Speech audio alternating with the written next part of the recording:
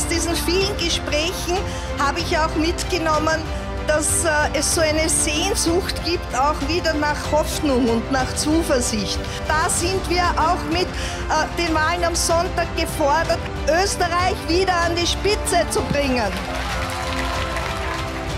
Und ich kann euch eines versprechen, dass äh, wenn wir diese politische Auseinandersetzung mit dieser Leidenschaft auch weiterführen, wie wir sie geführt haben, dann haben wir eine gute, eine bessere, eine sozialere und eine gerechtere Zukunft vor uns.